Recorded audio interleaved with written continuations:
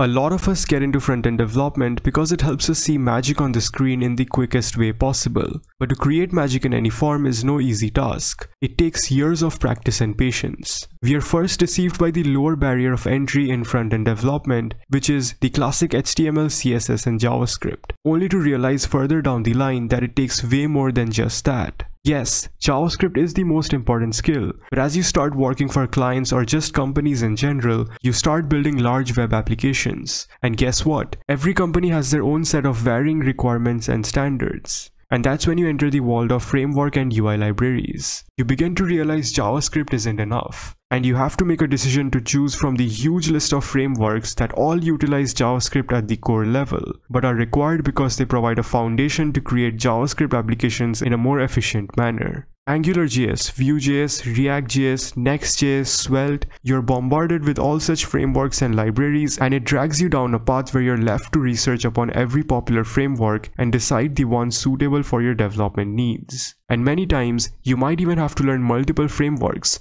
which is all the more time consuming. Apart from that, a front-end dev also has to take into account SEO needs. This opens up the world of choosing frameworks that provide either server-side rendering, client-side rendering, incremental static regeneration, or a combination of multiple rendering patterns and so much more. Now all of that spoken until now is how you begin your front-end journey. Not so easy, right? What comes after is even more insane. While working on an application, there are a lot of scenarios to account for. While coding, you always need to remember that your code or web application does not just need to run on a browser, but on many browsers that can run on all devices. Browsers implement specs differently in many cases, which means the perfectly valid code you write may not work as expected, or in some cases, you just cannot write the code you want to at all just because they aren't compatible on certain browsers. Then comes the case where you need to account for various device screen sizes while coding. Screen sizes vary widely across various devices. One of the responsibilities of a front-end developer is to modify the user interface in order to support all of these sizes without affecting users' browsing experience.